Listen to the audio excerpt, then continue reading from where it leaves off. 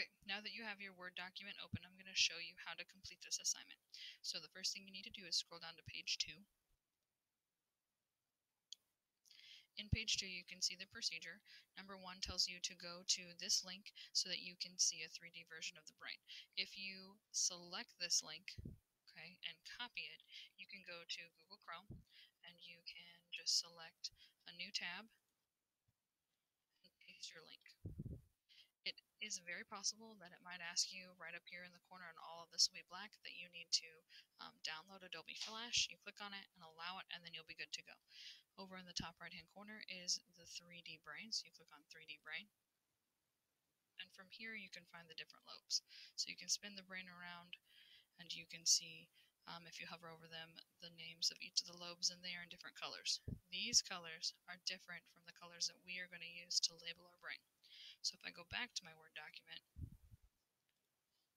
I can see that the very first lobe that I need to color in is the frontal lobe, and it needs to be purple.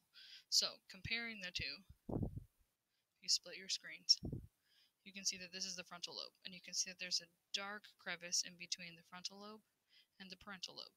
And that dark crevice is represented here in your diagram by this dark line. So basically we need to create a shape that goes all the way around the front of this brain and then connects back and then we need to color it purple and we also need to make the purple transparent.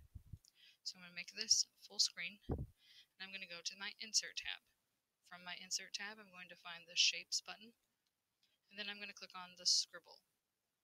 Scribble is um, basically just a line that kind of just looks like it's like loosely drawn. I click on that and my cursor is going to become a plus. From there, I'm going to zoom in and I'm going to trace this area. I must hold down my mouse and move my mouse following the black lines all the way around here. I'm going to try to make this follow the black line as um, closely as possible.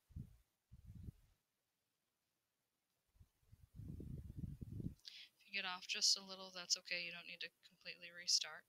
So right here, I'm going to come up and follow this black line. If you do have to stop, make sure you keep your mouse held down and you do not release it. Okay, and then when I meet this, meet this line at the top, it will fill in a color. So now I'm going to let go of my mouse. And this is all blue, but I can't see through it. So I know I need to change it to purple.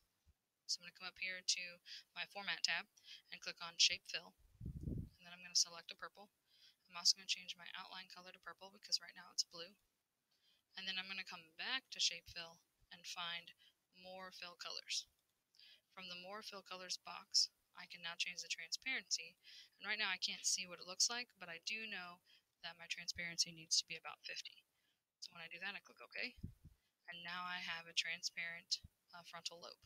Um, you can click on the shape and then you can start uh, typing. So labeling it frontal lobe.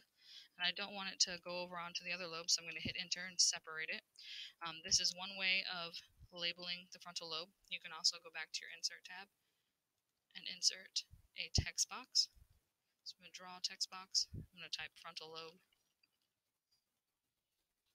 And then I'm going to get an arrow. So go back to insert, shapes, get an arrow, go from the frontal lobe to the actual drawing of the frontal lobe.